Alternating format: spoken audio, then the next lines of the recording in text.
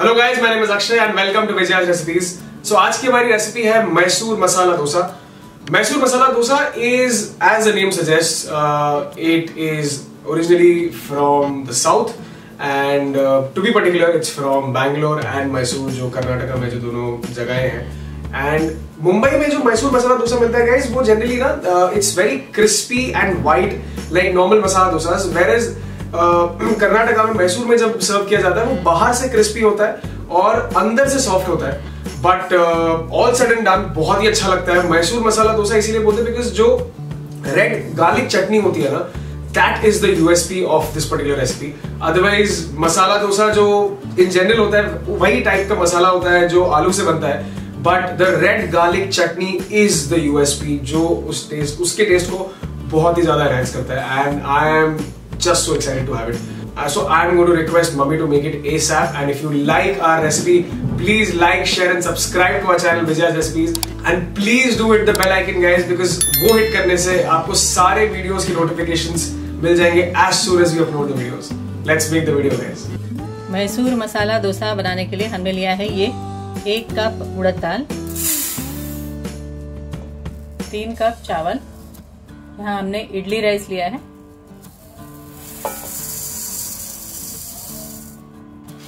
तीन टेबलस्पून चना दाल।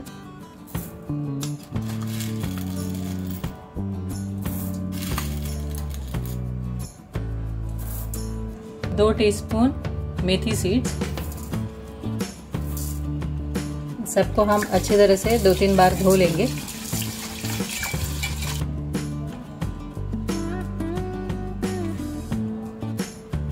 हमने ये दाल और राइस को दो तीन बार अच्छी तरह से धो लिया है।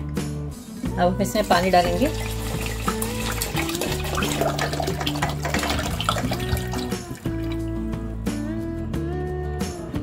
इसे कवर कर देंगे और छः घंटे तक सोख करके रखेंगे छः घंटे हो गए हैं, हमें लिड हटा देते हैं।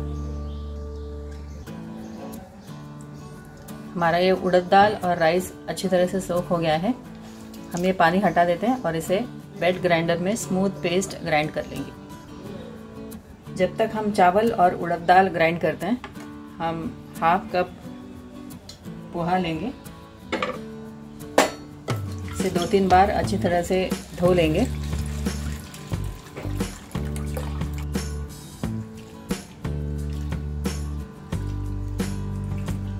हमने पोहा को दो तीन बार अच्छी तरह से धो लिया है। इसमें हम पानी डालेंगे और इसे कम से कम 30 मिनट तक हम इसे सोख करके रखेंगे 30 मिनट तक सोख होने के बाद हम इसे भी उड़द दाल और राइस के साथ ग्राइंड करेंगे। हमारा ये बैटर स्मूथली ग्राइंड हो गया है। इसे हम कवर कर लेंगे और आठ घंटे तक फर्मेंट करने के लिए रख देंगे। आठ घंटे हो गए हैं, हमें लीड हटा देते हैं। हमारा ये उड़द दाल और राइस बैटर अच्छी तरह से फर्मेंट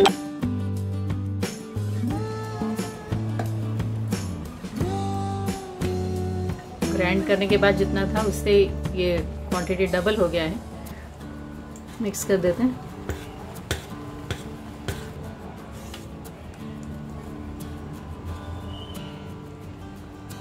हम एक बाउल लेंगे और उसमें बैटर दो तीन लैडल जितना अभी हमें यूज़ करना है, उतना हम निकाल देंगे।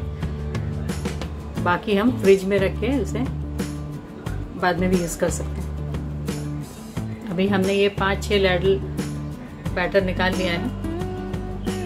बाकी ये बैटर हम फ्रिज में रख देंगे। बैटर में हम डालेंगे एक टीस्पून नमक। ये हम सी सॉल्ट यूज़ कर रहे हैं। हमें ये बैटर थिक लग रहा है, इसलिए हम थोड़ा पानी ऐड करेंगे। करीब हाफ़ कप।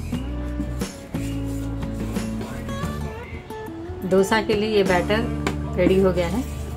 अब हम मैसूर मसाला डोसा के लिए रेड चटनी बनाएँगे। रेड चटनी बनाने के लिए हमने 10 से 15 बेडगी मिर्ची लिया है। और इसे गर्म पानी में आधे घंटे तक सोख करके रख लिया था। हमने गैस ऑन कर लिया है। पैन में डालेंगे एक टेबल स्पून ऑयल तेल गरम हो गया अब हम इसमें डालेंगे दो टेबल स्पून चना दाल. दो टीस्पून सफ़ेद तिल. ससमे सीड्स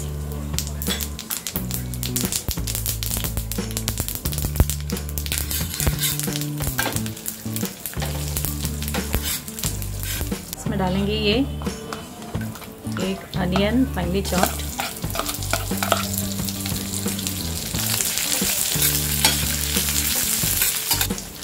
आठ से दस करी लीव्स।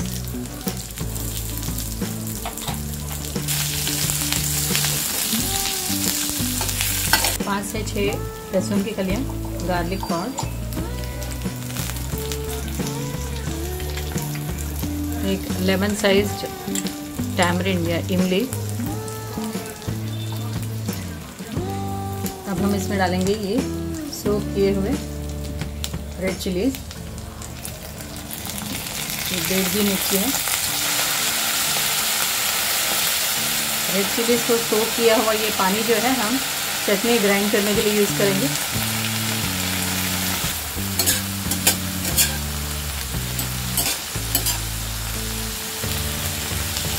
इसमें डालेंगे ये हाफ़ टी स्पून हल्दी।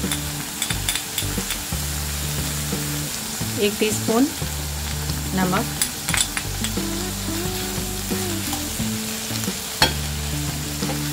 इसे लो फ्लेम में दो मिनट तक फ्राई कर लेंगे। दो मिनट हो गए, गैस ऑफ़ कर देते हैं। हमारा ये मिक्सचर पूरी तरह से ठंडा हो गया है।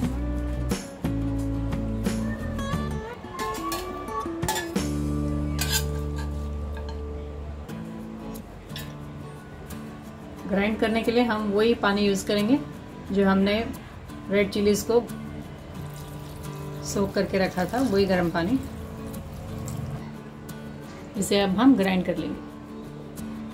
मैसूर मसाला डोसा बनाने के लिए हमारा ये रेड चटनी तैयार है। हम इसे बॉल में निकाल लेंगे। इसमें हम ये लेमन स्क्वीज करेंगे। ये ऑप्शनल है।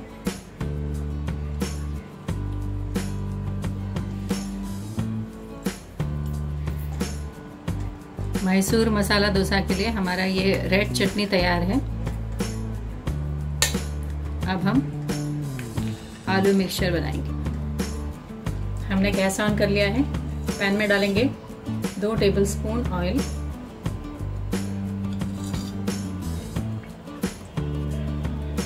तेल गरम हो गया। अब हम इसमें डालेंगे ये एक टीस्पून राई। एक टीस्पून चना दाल।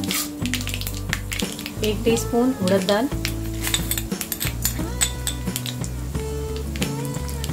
दो लाल मिर्च।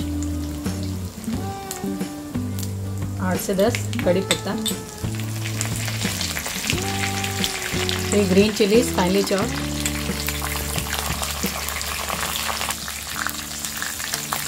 one inch ginger crush अदरक।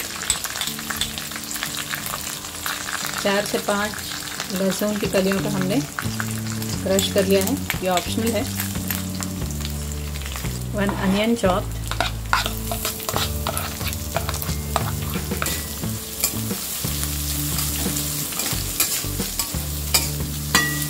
salt as per taste half teaspoon हल्दी पाउडर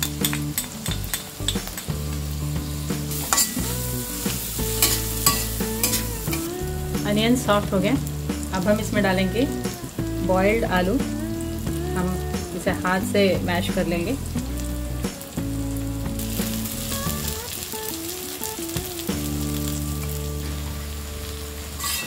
मिक्स कर देते हैं।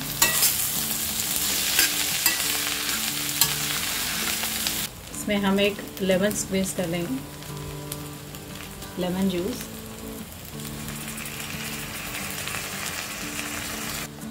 इसमें हम थोड़ा सा पानी स्प्रिंकल करेंगे।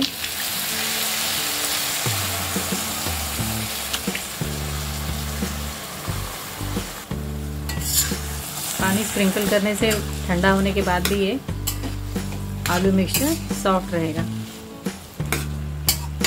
इसमें हम डालेंगे ये finely chopped coriander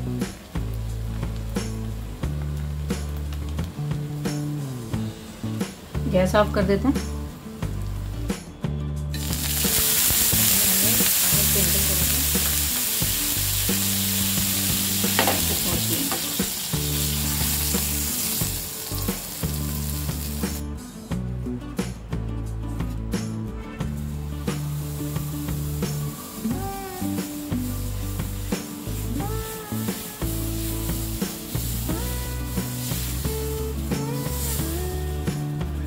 इसमें हम ये एक टीस्पून रेड चटनी डालेंगे और इसे स्प्रेड कर लेंगे।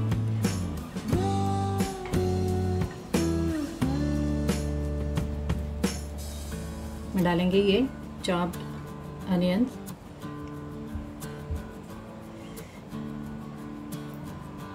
चॉप्ड कोरिएंडर और ये आलू मसाला।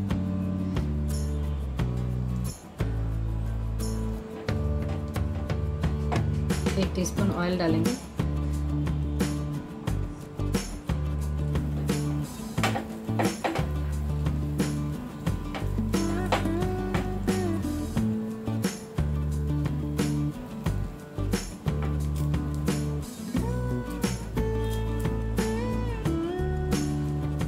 डोसा एक तरफ़ से अच्छी तरह से सिक गया है। इसे हम फोल्ड कर लेंगे। हमारा ये मैसूर मसाला डोसा तैयार है।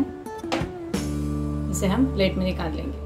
हमारा ये मैसूर मसाला डोसा तैयार है। हमने इसे सर्व किया है सांबर आलू मसाला, रेड चटनी और कोकोनट चटनी के साथ।